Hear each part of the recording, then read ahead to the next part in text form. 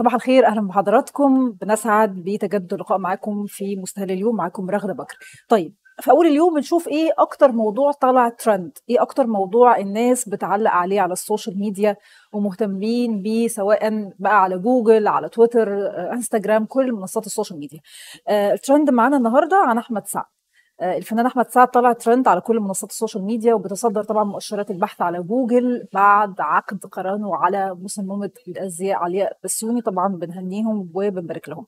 آه، احتفل أحمد سعد بعقد قرانه آه، واقتصر يمكن الحفل على حضور الأسرة بس ويمكن أحمد سعد كمان وزوجته عملوا كده جلسة تصوير آه، بسيطة لطيفة ومسيطر عليها زي ما بنقول كده اللون الأبيض لون الفرحة وبالتأكيد كان في أجواء رومانسية في الصور. آه، بنبارك لهم مرة تانية ونتمنى لهم بالتأكيد السعادة والتوفيق.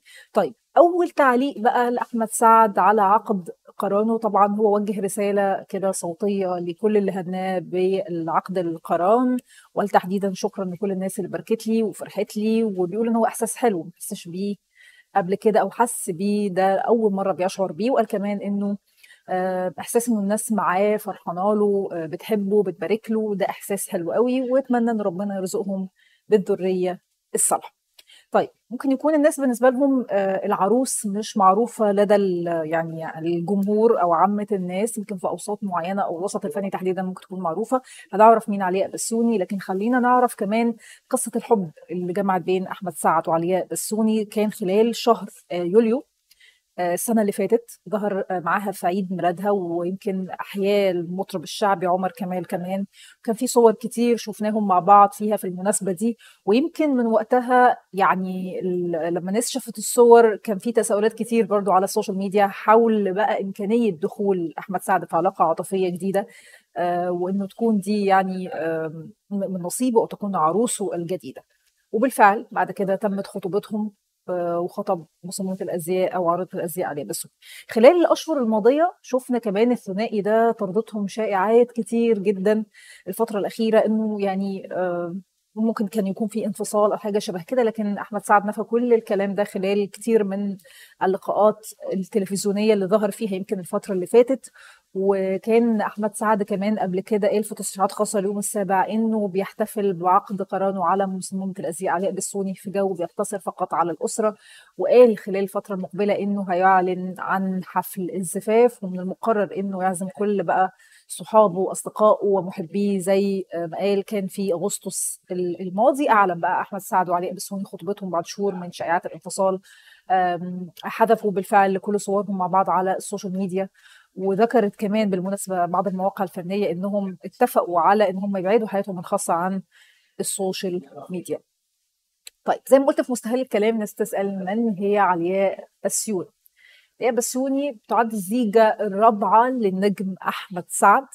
آه، هو تزوج للمرة الأولى من آه، لبنى بيومي وهي أم آه، يعني ولاده الاثنين وبعد كده تزوج من ريم البارودي والزيجة الثالثة من الفنانة سمية الخشاب طيب آه، أيضا أحمد سعد آه، انتهى من تسجيل الأغنية الدعائية لفيلم 200 جنيه. الأغنية دي برضو من ألحانه.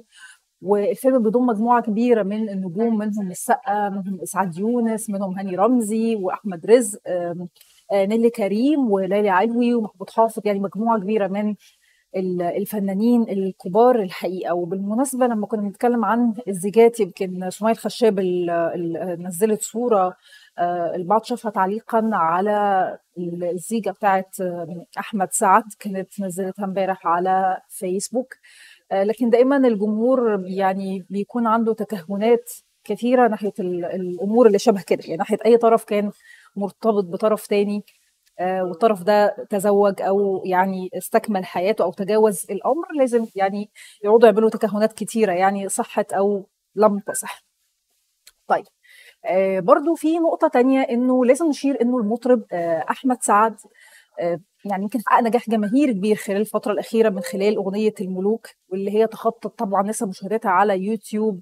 آه، إحنا بنتكلم في حاجز ال 20 مليون مشاهدة وده رقم كبير.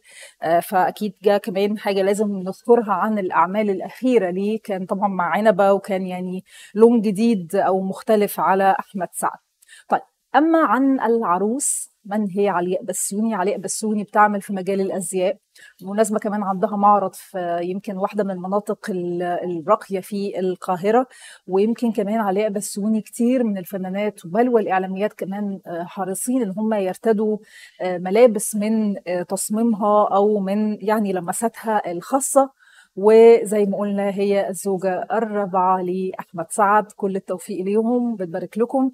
وطبعا نرجع نشكركم تاني على المتابعة. دي كانت أول تغطية لينا معاكم صباحا في مستهل اليوم لكن ما زال عندنا المزيد إن شاء الله. تابعونا أرجوكم في تلفزيون اليوم السابع. شكرا متابعة.